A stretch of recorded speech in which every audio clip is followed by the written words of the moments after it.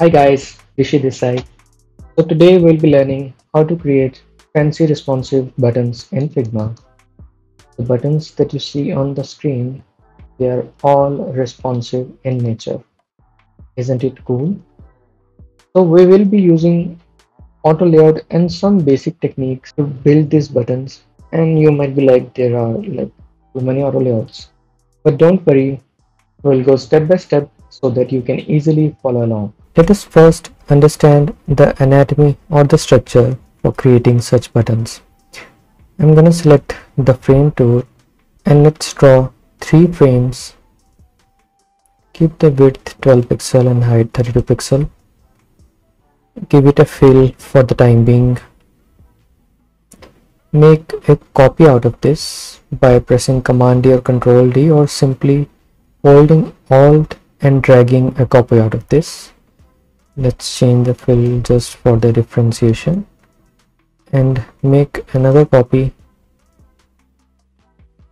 of the same frame.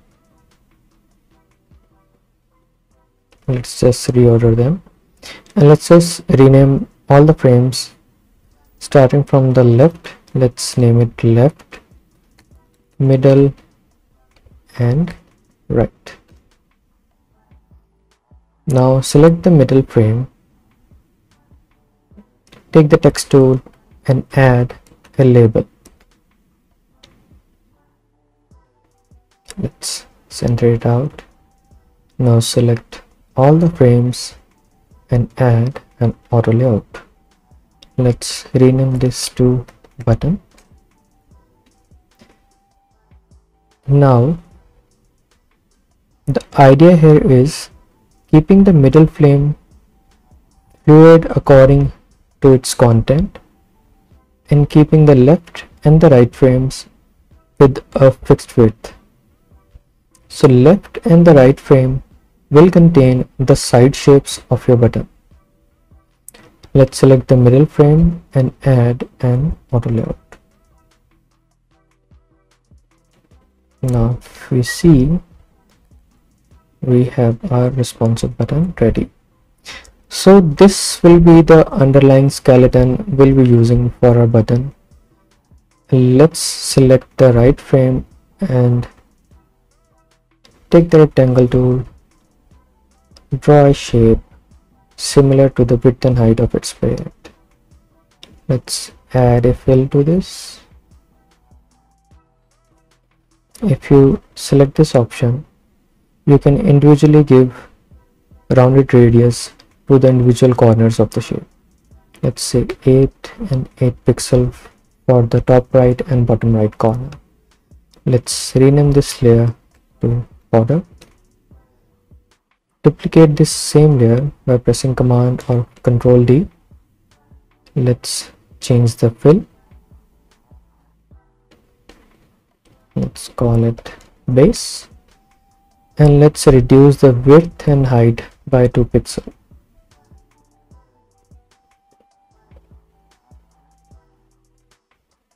sorry height by 4 pixels so that we have a 2 pixel border around it.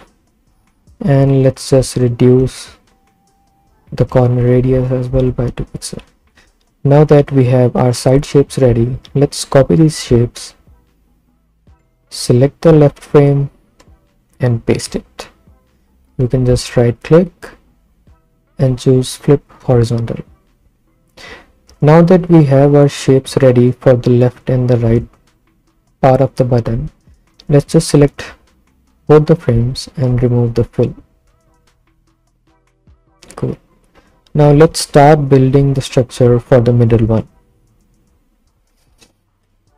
Let's select the label layer, rename it to label.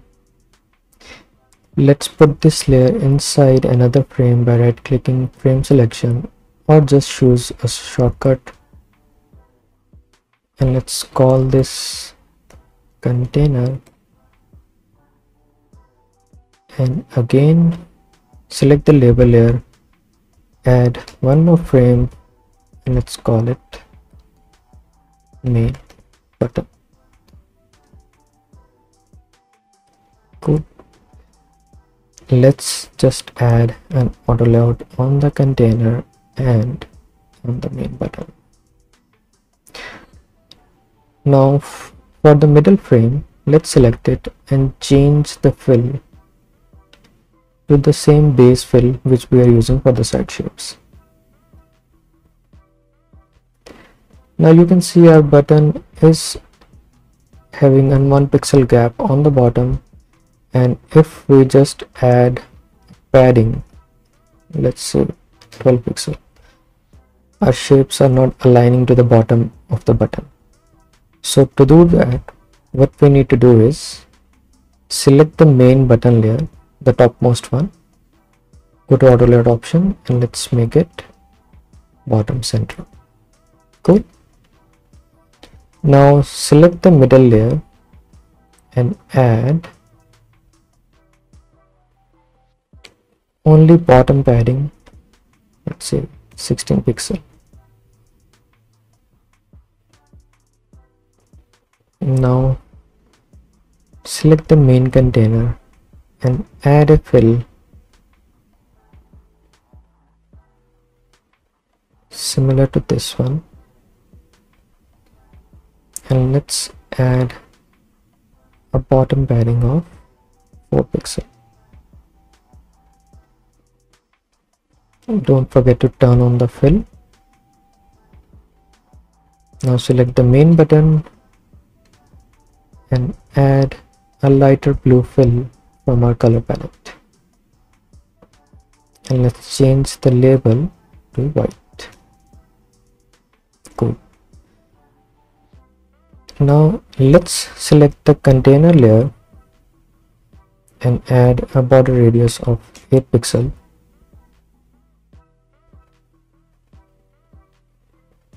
Let's say clip content select the main button layer and add 4 pixel of padding. Now you can see an overflowing background color of the middle section underneath this button. So we'll be fixing this. There's a pretty easy fix for this one. Let's just add a couple of more styles to our button. Now go to the container layer add a stroke make it a darker blue and let's make it 2 pixel. Let's just add a little bit more padding to give it more height for the bevel. And let's do the same thing for the main button. Let's add a 4 pixel radius. I think we used 8 and add a stroke similar to the dark blue and let's keep it 1 pixel only. We can add a little bit more padding on the left and the right side of the main button. Now as you can see our corner radius are not properly blending with the container. To do that let's add one pixel padding on the container layer for the top right and the left one. Now we have a proper curving of the radius. Since we were using a stroke in the inside of the container so it was covering the stroke of the main button. Let's just make a gloss. Make it pixel radius. Let's change the fill to white. Rename it to gloss. And let's bring it all the way inside the main button. Now you can see the behavior has changed. So what we need to do is select the main button and change the direction from horizontal to the vertical direction. Let's move the gloss underneath the label layer and let's fix some parameters here. Let's make it 4 let's duplicate the gloss one more copy. And let's just reduce the opacity to zero. So that we can have an equal spacing on the top and bottom of the label what we can do is to move this gloss on the right side. What we can do is select the main button layer go to the auto layout option and use this alignment top right. Cool. Now let's get back to our middle section. Now to make a border like this we can achieve the same effect using the inner shadow. Let's add effect here. Change it to inner shadow. Let's reduce the blur to zero. Y let's move it to minus 2 pixel. And let's pick the color same as that of our border color see now it's matching. Now let's fix this overflowing background color. Select the middle layer select the fill and let's change it to linear. Let's just flip the palette. Let's move the solid one really close to the transparent. And then let's just move the gradient to the middle like this. Now that we have fixed the overflowing background color for the middle section. I think let's reduce the spacing between the elements. It's looking a little more on the higher side. Now let's just select the main button layer add a drop shadow go to settings just turn on this one show behind transparent areas. Let's pick the border color let's remove the blur. And here we have the button ready.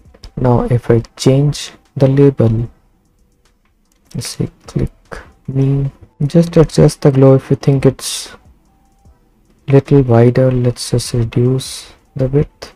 As you can see a label is not perfectly centered in the main button. That's because we have changed the layout from top center to right center. Now what if we want to keep our gloss on the right side but rest of the alignment in the center.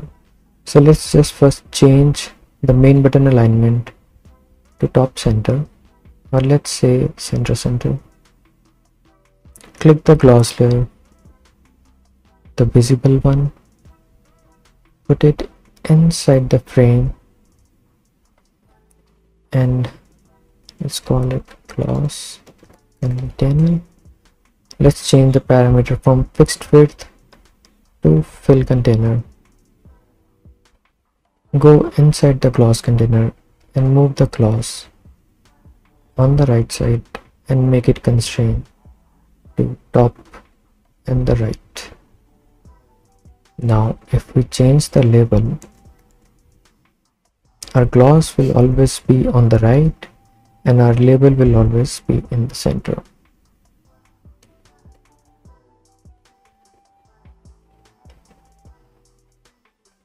So let's just see the examples which I showed in the beginning of the tutorial and let's just see the structure of those buttons. As I mentioned earlier there is an underlying structure to these buttons so let's just see this game button and let's trim down to its layers. We have a right middle and the left frame.